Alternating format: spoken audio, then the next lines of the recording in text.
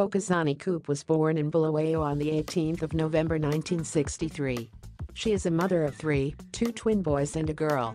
But who's this powerful woman who is set to upset the MDC Chamisa apple cart in the 2018 elections, especially in Matabeleland? Khupe started her activism in the 1980s when she was part of a strong trade union movement agitating for better working conditions.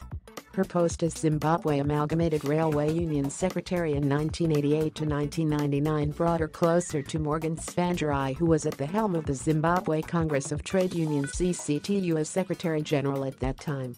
It is therefore not surprising that she was one of the founding members of MDC who became a national executive member in 1999 when the party was formed.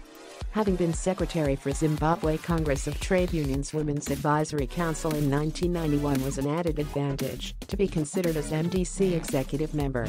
She was elected member of parliament for Makokoba in the 2000 elections she was awarded in 2006 when she was voted MDC Vice President, a position which she still holds.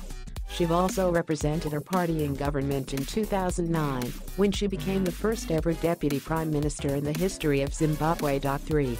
In October 2012, she opened the Thokozani Khupe Cancer Foundation to help cancer patients access affordable treatment.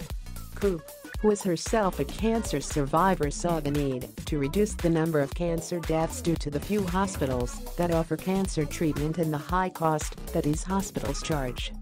Khupe, who is leader of the opposition in the House of Assembly, has been active introducing motions for the cause of cancer patients. She once clamored for government to introduce a mandatory cancer levy and the establishment of cancer centers across all provinces. Only Pereira and Mpilo hospitals in Harare and Bulawayo respectively offer cancer treatment. Thokozani Khupe is the president of the Global Power Women Network Africa which promotes gender equality and women empowerment in the area of HIV and sexual and reproductive health and rights in Africa. She holds the following degrees diplomas 1.